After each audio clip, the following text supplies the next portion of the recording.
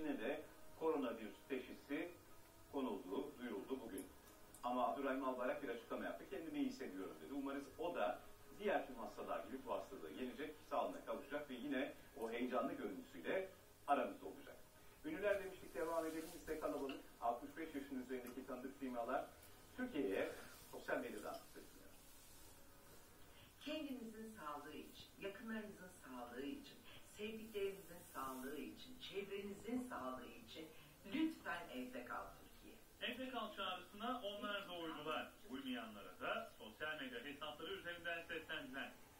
65 yaş genelgesine takılan isimler arasında siyaset, sanat, spor camiasından tanıdık birçok sima var. Hepsi evlerine kapandı ama hiçbiri boş durmadı. Şarkı söyleyen de vardı, Aşkım, hasretim,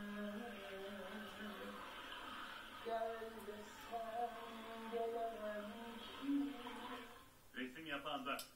76 yaşındaki Ajda Pekkan evde kal çağrısını manidar bir paylaşımla yaptı.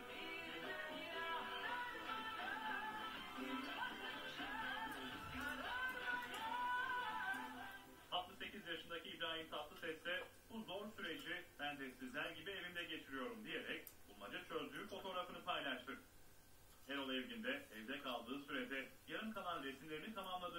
ね。さらに、